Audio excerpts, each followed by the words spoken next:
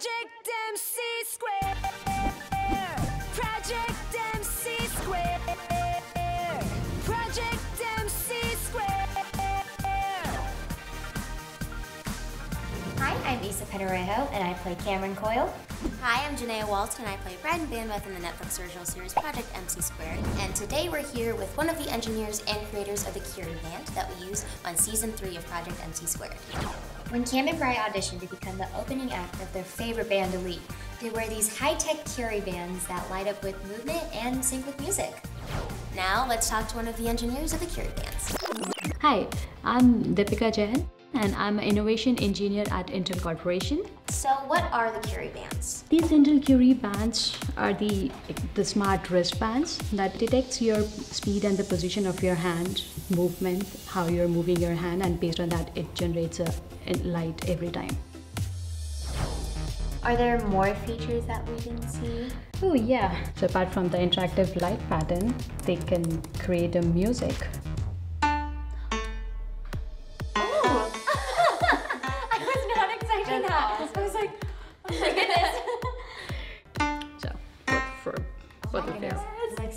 So if it's on your wrist, so it basically detects your wrist movement.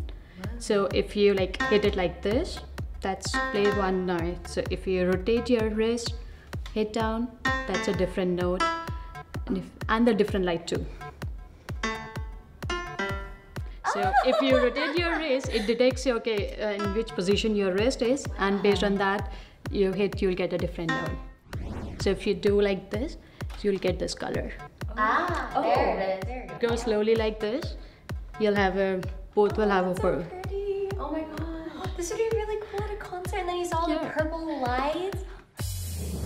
This little chip is the brain of the of the Curie band. So all the tech behind the music, the gesture recognition, the Bluetooth connectivity, and everything, everything is inside the small chip. That's our Intel Curie module.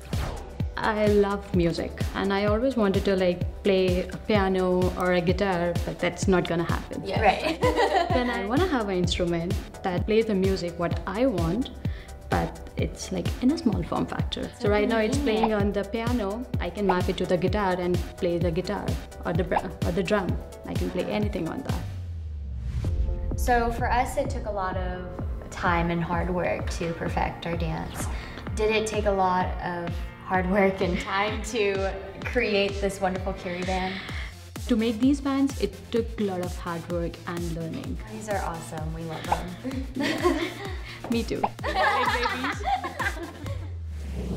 So I personally love science, but what type of science do you study? I also love science, and I said I want to do something interesting.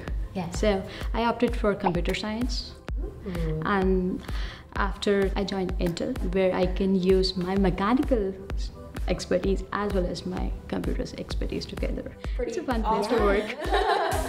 How did you guys learn to dance like that? I've been dancing since I was six, Both of us have been dancing for a long time. so it's awesome that we got to do it on an acting job. Yes. Together again.